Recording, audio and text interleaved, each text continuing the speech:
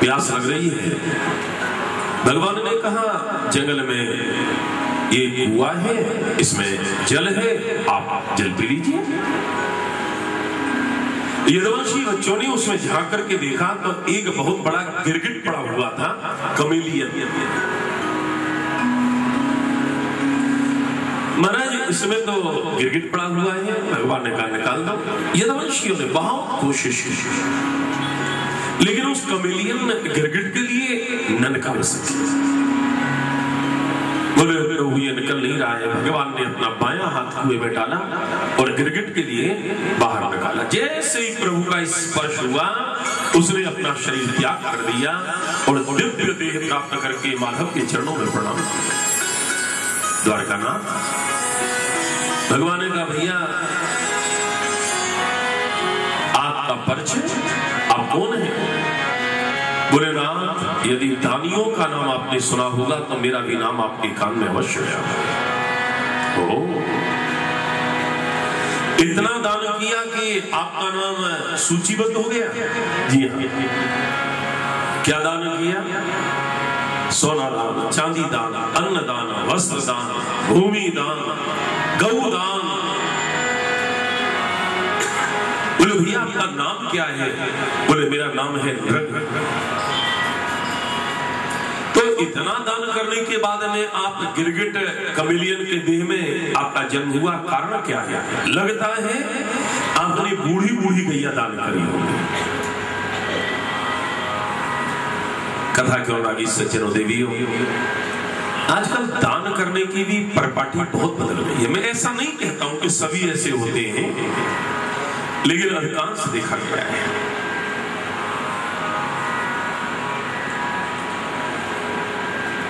पंडित जी को धोती देनी है, दुकानदार के पास लगे, भैया, धोती निकालना।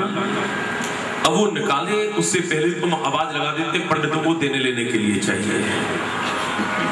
अब वो ऐसी निकाल करके देता है कि वो पहनने लायक तो नहीं होती, पर संसार में कोई अनुपयोगी भी नहीं होता है। उसमें जूस ज़रूर छाप सकते हैं। मैं ये नहीं कह रहा, आप देहरादून के लोगों की प्रशंसा कर रहा हूँ। लगातार छह दिन का आज तक का मेरा ये अनुभव है। लेकिन आप लोग दिल से करते हो। और ये सब आपके ऊपर में आपका पुरुषार्थ नहीं, ये पूज्य बाबा जी महाराज की कृपा है। बाज़ार में जाएँगे, दुकानदार से कहेंगे, सुपारी निकालना, वो निकाले, उससे पहले आवाज़ लगा देते हैं, पूजा वाली देना। अब मुझे आज तक समझ में नहीं आया किसी स्टेट विशेष में कोई वृक्ष विशेष पर भी सुपारी उड़ती हो। कथा क्यों ना देवियों, हमारी एक मान्यता है। मैं कोलकाता में इमामी ग्रुप वालों के यहाँ जाता हूँ गोयल का बंधु और अग्रवाल बंधुओं के यहाँ पर। उन्होंने मुझसे कहा कि, गुरुदेव, आप बोला आप वस्तुओं की जगह एक वस्तु दें, पर आप दें ऐसी जो आपका दिया हुआ सामने वाला प्रयोग में ला सके। और बहुत अच्छा है, मैं देहरादून के इन आप वैष्णवों की प्रशंसा करता हूँ। आप कोई वस्तु लाओ, उससे अच्छा है, इन विद्वानों को, इन संतों को। आप भेंट में कैश देते हो, मैं इसका घोर अनुमोदन मैं अनुमोदन करता हूँ। क्यों अपने मन से ये वस्तु कोई ले पाए। आपने दिया कोई ज़रूरी नहीं है कि आपका दिया हुआ पसंद आ जाए। या तो या तो उनकी रुचि से दो, या फिर कम में कोई ज़रूरत नहीं। राजा तेने बूढ़ी गौदान करी होगी बोले, नहीं भगवान, भागवत में स्पष्ट वर्ण है। पयस्वनी तरुणी शील रूप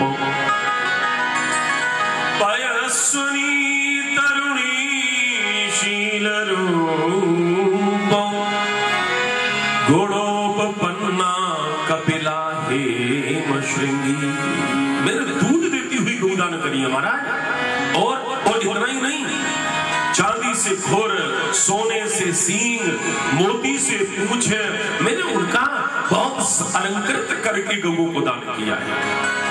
राजन, तेरे मूर्ख ब्राह्मणों को दान किया होगा। बोले, ना। बोले सीदत कुटुंबी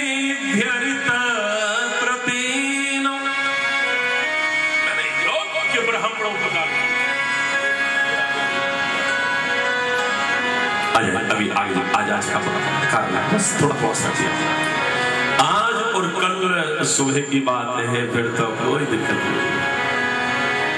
मस्ती से बैठिएगा हाँ। तो राजन, आपकी दान इतने अच्छे ढंग से किया तो आपकी ये दुर्दशा क्यों मिली? द्वारकानाथ, इसमें एक कारण। क्या? मेरे यहाँ पर गऊओं को दान किया जाता था, रात में गऊओं को इकट्ठा किया जाता था, प्रातः काल में दान किया करता था। एक ब्राह्मण की गऊ खुल करके मेरी गऊ में आ करके मिल गई और मैं प्रातः काल दान कर रहा था। मैंने उस ब्राह्मण की जो गऊ मेरी गऊ में आकर मेरी मैंने वो भी दान ब्राह्मण गऊ लेकर जा रहा था और एक ब्राह्मण जिसकी गऊ खोई थी, वो ढूंढता हुआ आ रहा था। रास्ते में दोनों मिले। एक ने कहा, ये मेरी गऊ है। दूसरा बोला, मैं राजा से अभी भी दान लेकर के आ रहा हूँ। पहला बोला, ये गऊ मुझे पहचान नहीं दे दोनों लड़ते हुए मेरे दरवाजे पर आए।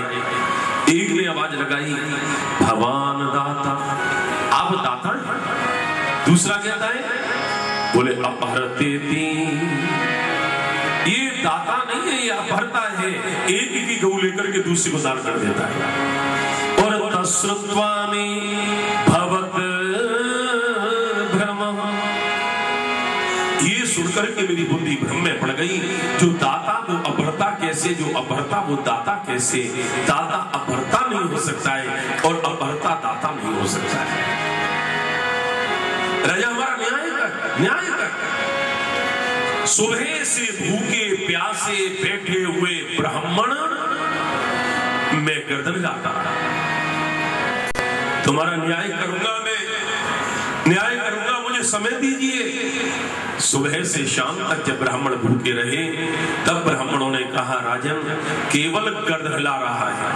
न्याय की कोई आशा नहीं है। जा रहे हैं तेरे दरवाजे को छोड़कर, पर शाप दे करके जाते हैं कि तू गर्दन हिलाने वाली देह की ही प्राप्ति करेगा, गिरगिट बनेगा। प्रभु, में धर्मराज के यहाँ पर गया। धर्मराज ने कहा, राजन, तेरा पुण्य बहुत है, केवल एक पाप है। बोल, पहले पाप भोगेगा या पुण्य? मैंने कहा, यदि पाप एक है तो भोग करके समाप्त कर देता हूँ। मैंने उसी समय निर्णय किया। गोविंद, उसी समय धर्मराज ने मुझे ऊपर से नीचे गिरा। मैं कुएँ में आकर के कमेलियन के रूप में, गिरगिट के रूप में जन्म लिया। द्वारका जीव का भोजन है। जीव जीव का भोजन।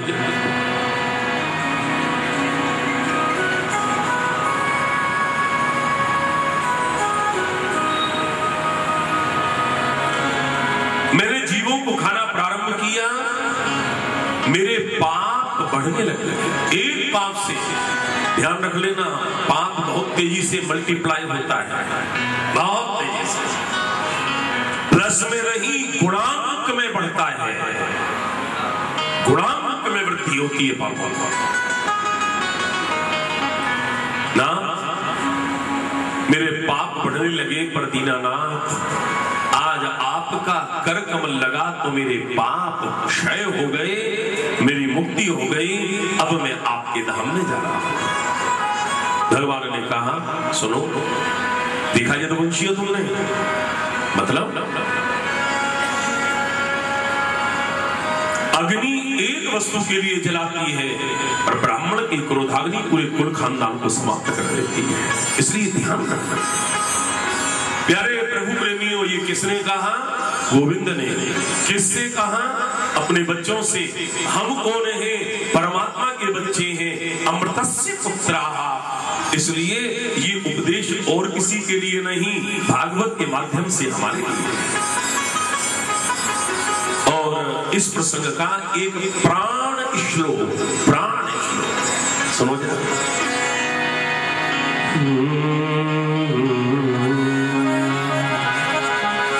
स्वदत्ता परदत्ता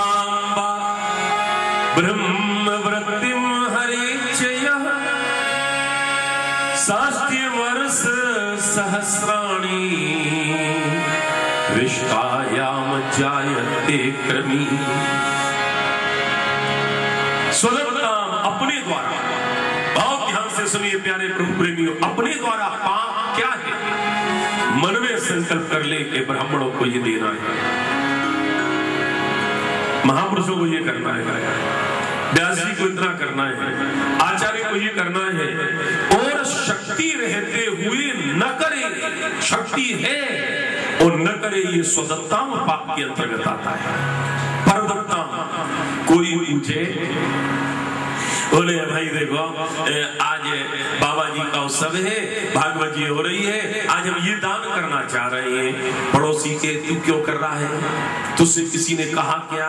बोले, कहा तो नहीं है, पर बाबा जी की कृपा से कोई कमी भी तो नहीं है। पड़ोसी ने कहा, तू क्या कर्ण का अवतार आ गया? बोले, कर्ण का अवतार क्या बात है? बोले, ये जो ट्रस्टी वो अपने आप कर लेंगे, तू क्यों करता है? अरे वो खाएँगे, उनके पेट में जाएगा, मैं खाऊँगा, मेरे पेट में जाएगा। बाबा जी ने बहुत दिया है, दान कर दे। बोले रो मत कर मत कर रोता है। ये परदत्ताम दूसरे के द्वारा देने पर और रोता है वो परदत्ताम पाप के अंतर्गत परिभाषित श्रीमद भागवत में टीकाकारों ने किया। तो स्वदत्ताम परदत्ताम वा ब्रह्मवृत्तिम हरे चय ब्राह्मण की वृत्ति का जो हरण करता है, क्या होता है? भगवान कहते हैं षष्टि वर्ष सहस्राणी रिश्तायाम जायते क्रमी। साठ हज़ार वर्ष तक मलमूत्र के बीच में पीड़ा बनकर के रहता है। ये भगवान ने क्यों किया? ये लीला भगवान द्वारकानाथ ने क्यों की? कि मेरे जाने के बाद ये यदवंशी पाप कर्म में लिप्त न हो जाए, इसलिए मेरे गोविंद ने ये लीला की है। मैं चला जाऊँगा और मेरे जाने के बाद में ये पाप करेंगे तो लोग कहेंगे, अरे कृष्ण की संतान है, इसलिए पाप कर रहे हैं। इसलिए पाप प्यारे प्रभु प्रेमी उसके बाद में भगवान श्री कृष्ण ने पांडवों का यज्ञ करवाया। युधिष्ठिर ने गोविंद से कहा कि, प्रभु, हमारे पास में धन बहुत है। क्या करना चाहते हो? बोले, दान करना चाहते हो। क्यों?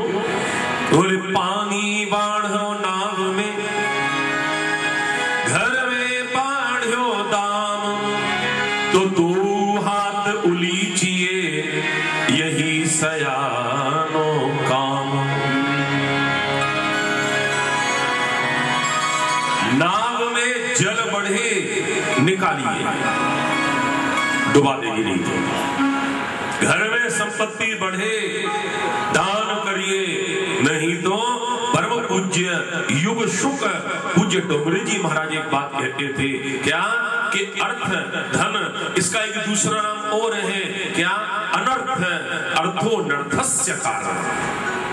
अर्थ अनर्थ का कारण। मैं तो आपके लिए इतनी, में संतुष्टि हुई है।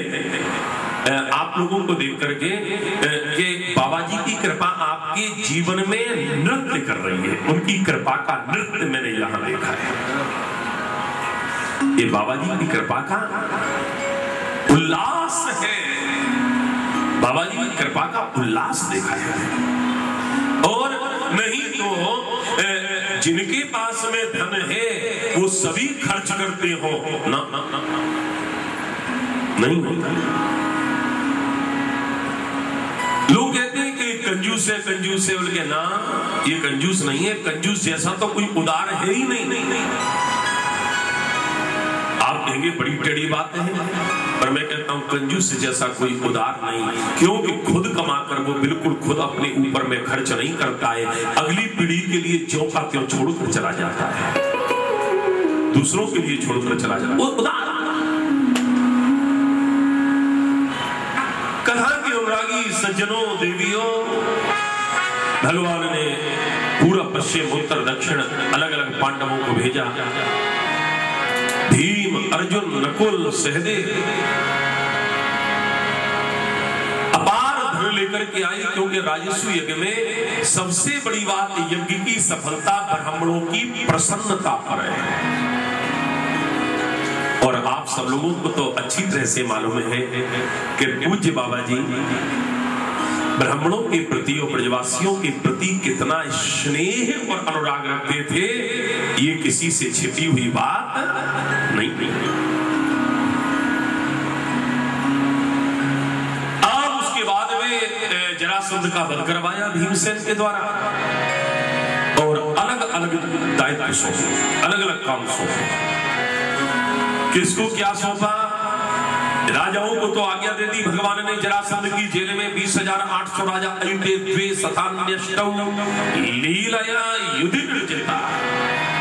उनको उनको मुक्त करवाया।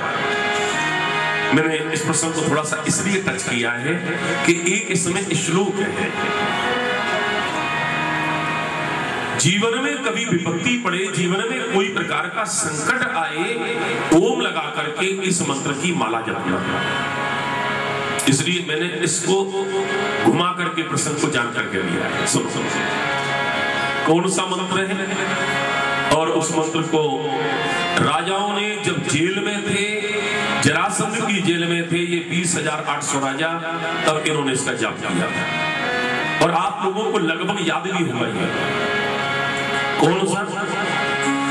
कृष्णाय वासुदेवाय। कृष्णाय वासुदेवाय। कृष्णाय वासुदेवाय। हरये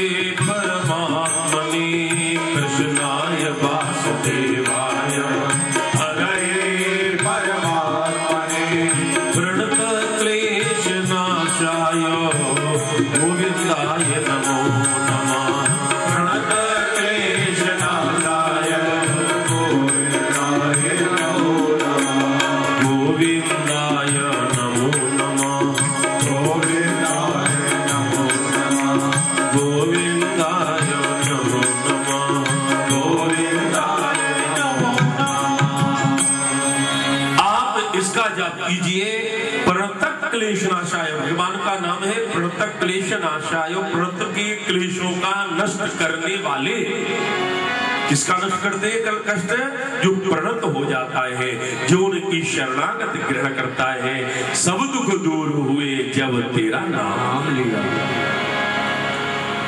अब यज्ञ में सारी व्यवस्थाओं को ढंग से सुचारू करने के लिए भगवान ने कहा, भैया, अपने अपने अलग अलग काम बांटो। बोले, गोविंद, आप ही काम बांट दो। बोले, भैया, काम बांटने का काम बहुत टेढ़ा है। क्यों? किसी को भी कोई काम दो? अरे देखो, ये दो कौड़ी का काम हमारा स्टेटस भी नहीं देखा और ये काम दे दिया हमको। ये बहुत टेढ़ा काम है। काम बांटने का काम अपने आप में हाँ। भगवान ने कहा अच्छा तो हम काम बांटते सबसे पहले अपना बांटेंगे। क्या करेंगे आप? यज्ञशाला के द्वार पर बैठ जाएँगे। जितने संत महात्मा ब्राह्मण आएँगे, उनके चरणों को धोने का काम और फिर पादों का रखवाना, उनको अंदर प्रवेश करवाना, ये चरण सेवा का काम हमारा होगा